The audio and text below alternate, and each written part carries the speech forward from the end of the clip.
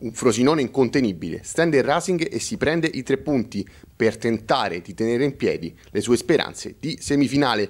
Gara di fatto ma in discussione, dopo neanche un minuto. Palma ruba già il primo pallone del match, infilandosi in area e scoccando il diagonale che sblocca l'incontro. Appena due giri di lancette più tardi, il numero 11 veste invece i panni dell'uomo assist, servendo il taglio di Di Palma, che cala il raddoppio.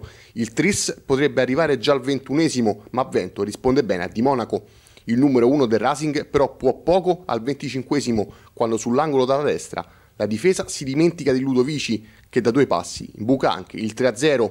Nel finale ecco materializzarsi anche il poker. Irillo fa il vuoto sulla destra e mette di palma in condizioni di calciare un rigore in movimento. Nella ripresa il monologo continua già al primo minuto, quando Antelmi scende sulla sinistra e sul secondo palo pesca Braghini che da due passi fa 5-0.